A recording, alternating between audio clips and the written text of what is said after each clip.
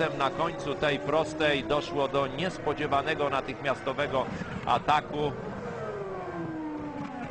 Dobrze, że e, tylko tak się to skończyło. Tam kierowcy dohamowują z ponad 310 km na godzinę.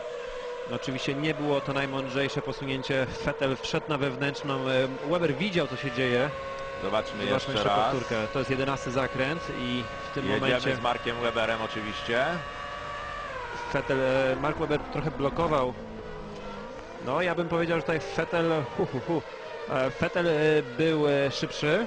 Mark Webber nie powinien go blokować w ten sposób, ale co też trzeba przyznać, Mark Webber nie zmieniał za dużo toru jazdy, po prostu jechał swoim torem jazdy. Tu Vettel wykonał skręt delikatnie w lewo, po to, żeby przygotować się na dohamowanie do zakrętu numer 12, no ale tam był przecież Mark Webber. No, Mark Webber nie mógł w tym momencie nagle zjechać Vettelowi, ale Vettel był delikatnie przed Weberem. Jeszcze raz zobaczmy. Z innej kamery jak to wszystko Duża wyglądało. różnica w prędkości. Miał miejsce, dobrze robił Vettel. Vettel Był jechał dobrze, nim. niepotrzebnie Niepotrzebnie tutaj wykonał ruch do środka toru. No, No będą, będą, proszę Państwa, spore kwasy w zespole Red Bull Racing. Na pewno sobie Christian Horner e, porozmawia z nimi. obydwu.